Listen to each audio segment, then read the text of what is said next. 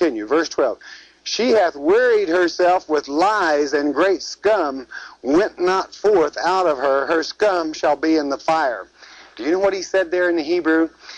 He said, Her filth, talking of Jerusalem today, you look at it, the Kenites, is so filthy that you could cook it in this manner.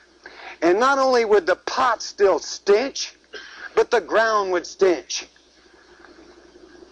You want to know what your father thinks of Jerusalem today, if you are one of these that says, oh, God's chosen people have come there, it's wonderful, wonderful, you'd better wake up. For it's a stench.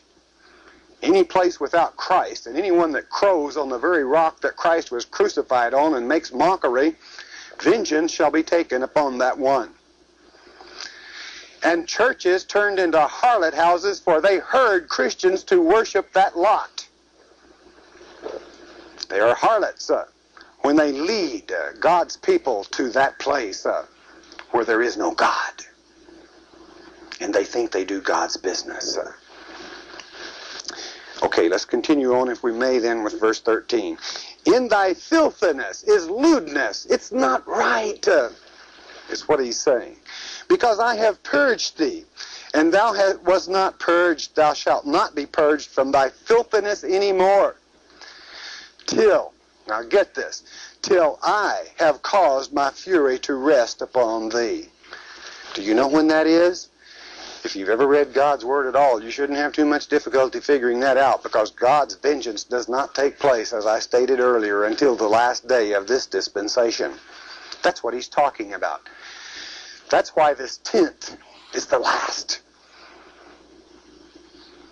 You can't cook them any more than that. They're cooked out. God is not happy with the murder and the rampage and the lies that cover this world at this time. Very soon those ten are going to take hold out of all nations. When? I don't know, but you are warned it is soon. Very, very soon. You see that you are ready. It doesn't take a great speaker. And don't you ever let man set qualifications as to what you must be and or do and or say to be a part of that.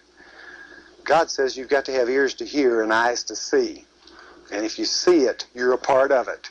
It doesn't matter what the other people mumble on about or the claims they might make. It's whether you understand your Father. You don't have to understand man necessarily. But I must hasten to add, if you understand the Father, you'll understand man also. He's talking about